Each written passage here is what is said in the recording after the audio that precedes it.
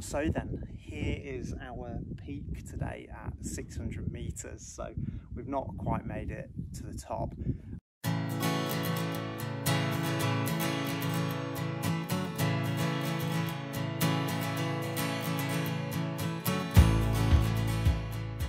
Back in September, we decided to go off on our first little adventure as a family.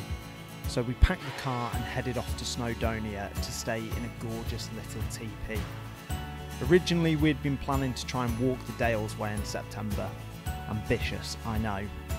But a busy summer put paid to those plans as we simply had not had enough time to practice walking and camping with a baby. Both Anna and I grew up in families that put a lot of emphasis on spending time in the outdoors, and we want Fox to have the same experience growing up. And as a family, we want to live a life that is as active, outdoorsy, and adventurous as possible.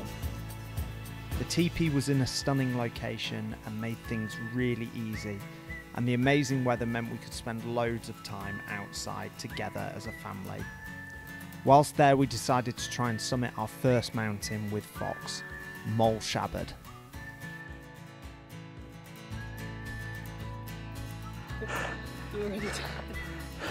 We've just got to go up there, Anna. At this point, he was still classed as a newborn. It was Anna's first big walk since giving birth, and it was nearly 30 degrees, so it was a tough day for all of us. A tarn on the way up provided us with the perfect place to rest and cool off. But it became apparent as we got closer to the summit that we weren't going to make it, and the idea of carrying on would be slightly foolish.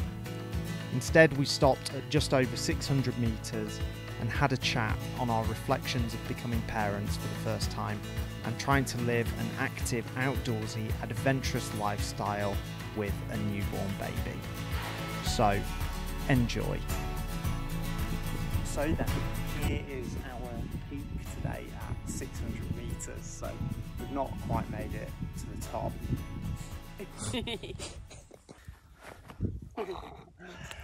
um, so yeah, originally we were meant to be walking the Dales Way, and that was the plan. I spoke to Anna about it, uh, and she was up for it we were going to do loads of walking over summer, do some camping practices as well in the Peak District close to home.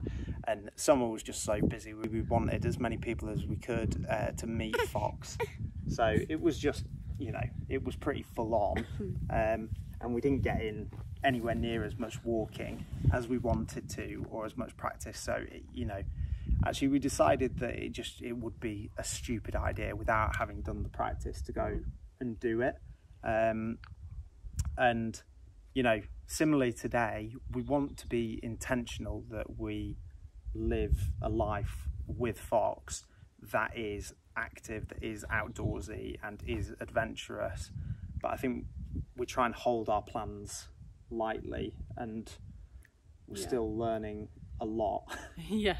Um, and actually, you know, there's nothing wrong with that. I think you know you see loads of amazing people on social media on youtube and uh, who do go and do crazy stuff with newborn babies but everyone's different and everyone's capacity is different mm. um, and i think i would still rather shoot for the stars and land on the moon mm, yeah, rather than not do anything so i mean today's been amazing we've got 600 meters had a great swim fox has enjoyed himself so you know what do you want, really? Yeah.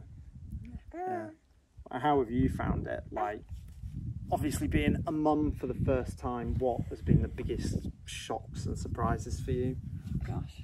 One of the things for me has been just everything. I know people tell you, I think people tell you a lot of things and you try and take it in, but you don't really understand until. Yeah, until have, actually you actually have a baby right in front of you. Yeah. Yeah. Everything just takes longer. Yeah. No. Yeah, that's so true. Yeah. Yeah, how long it takes to get out the door is yeah, just it wouldn't didn't shock me, but yeah, I wasn't quite prepared for that. Even yeah. though people had said, "Oh, it takes ages," you don't really realise until yeah. it's you. I think also like how I think you know that like breastfeeding is hard work because like some people can't do it and some people struggle, and I definitely did. Um, so that was a bit of a I wouldn't say maybe a shock, but the, one of the hardest things has been breastfeeding, but it's also one of the most amazing things Yeah. at the same time. And actually, I think breastfeeding, um, you know, it is incredibly helpful when you want to do more active Mm, things yeah, and it's great for outdoorsy things. Is like actually coming up here with a bottle with formula and thinking about all that and keeping it at the right temperature, like Would would, have been be incredibly trickier. difficult. Yeah. But actually, breasts ready to go on tap. We like it on tap, don't we? Yeah. You can do it. You could do it for sure, but it's yeah, it's just definitely one less thing yeah. to pack. So I think it was interesting in our NCT class that we did beforehand. Um, basically, all the mums said that like breastfeeding had been the hardest thing. yeah, Um, everyone had different challenges in different ways with it. yeah, Yeah, um, yeah. but yeah.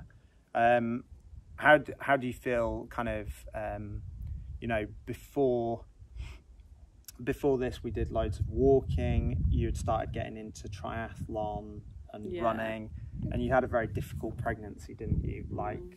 you had not morning sickness, but you were really tired in the first trimester. Oh yeah, like never been so so tired. Yeah, Yeah, and then had one good week, and then you got pelvic pain. pelvic pain for the rest of it. Yeah, yeah, it was hard work Yeah. and having an active active job as well. Do you want to say what you do? yeah, I work at a forest school nursery.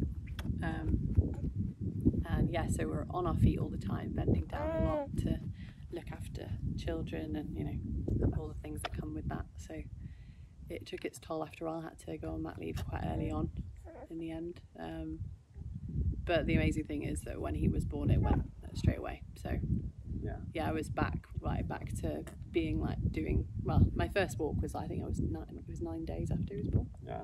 Um, and then like slowly I've just been doing more walking and most of it's just been like along the valley where we live and you know a bit out in the Peak District but it's just been really nice to not have to worry about oh how far should I go you know will I be in pain if I do this extra bit and I've Yeah. just been able to enjoy it um, and just take him outdoors and he loves it so Yeah. great And this has been. Oh, look at that. oh I didn't expect it to be. Daddy long legs. If you didn't see that. Um, yeah, and this is like the first. So, um, you did a sprint, your first sprint triathlon, didn't you? I'm trying to think. It was like two years ago, coming up, a year and a half ago. yeah it was May Yeah, last it was May last year yeah yeah. So, okay. yeah, we've agreed to do it again, haven't we? So we've Yeah. got something to aim for. Uh, but this has been like we've done a few. We did one kind of tough walk in the Peak District up Win Hill, Mm. but this has been your first like real challenge, hasn't Oh, it? yeah, this is a lot. There's a lot more elevation. Yeah, I a think lot that's- more If it was flat, I could have gone for a Yeah. lot longer, but obviously it's a mountain. So that's Yeah. How how how does your body feel? quite sore. My hips mostly are quite sore. Um, yeah, at the moment I'm sitting down, so I can't really feel it yet, but I'll be feeling it tomorrow, I think. But I feel good at the same time. Yeah. When you're carrying him as well, you have to get used to like kind of walking in a different way, don't you? Yeah, you have to 'Cause your engage. centre of your- gravity is different. Yeah, you have to really engage your core, which I don't really have much core strength since giving birth yet. Um, but yeah, it takes a strain on your hips with that carry, which is better than your back, but Yeah. it does also hurt your back as well. Yeah. Yeah. yeah. Bit sore and tired, but I'm glad that we've done it. It's been anyway. good fun. It's been fun. I've He seems it. to have enjoyed it as well. Yeah, until now. Until he's ready to go back. Yeah. Probably a bit, Yeah, you're bit hot and bothered.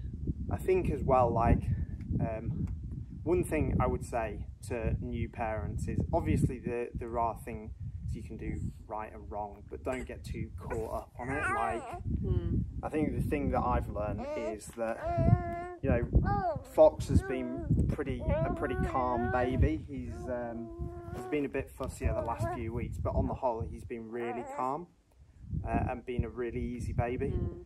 and like that's just luck of the draw. Um, and we've had loads of help, haven't we? Yeah, we have. Which makes a huge difference for to be able to. Uh, you know, we've been staying at your parents this week who have helped out, which means that we can come here um, and we're not absolutely exhausted Mm, yeah. because we've had that help and support. So, yeah, we've been massively blessed, haven't we? Mm, yeah, we have done. Yeah. But I think it's just about trying it, trial and error. Yeah, We know how much what to take. We think at the moment for like short short walks, and like what we need to pack for him so far. Yeah. So we haven't had any nightmares. we're getting yet. there. Yeah, Yeah, we're learning. and I think we'll just that's it. Like we're, you know, we're we're probably going to keep making plans where we overshoot.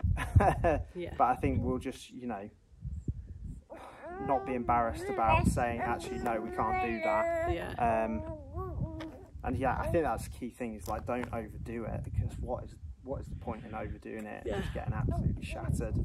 Just do whatever, do whatever Yeah. you're capable with. Exactly. And on another day, we may have felt differently and had more energy and been able to do it. Yeah. It just depends on the day. Everything it's different every day with a baby, Yeah.